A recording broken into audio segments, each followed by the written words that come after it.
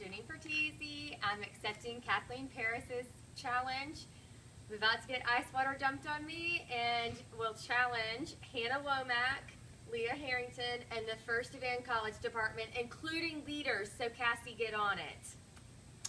And I'm Bob Fratesi, and I'm accepting Andrew Beach's challenge. He challenged uh, four different guys named Bob, and I got to be one of those. What a blessing. Andrew, thank you.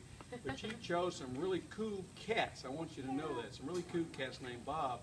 And therefore, I am wearing my shirt that's named Bobcats. Yeah. And how about that, Andrew? You like that, buddy?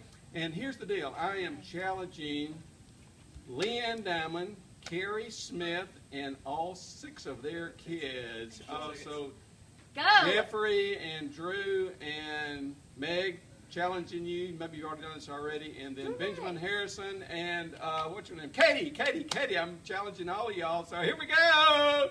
Woo! Go.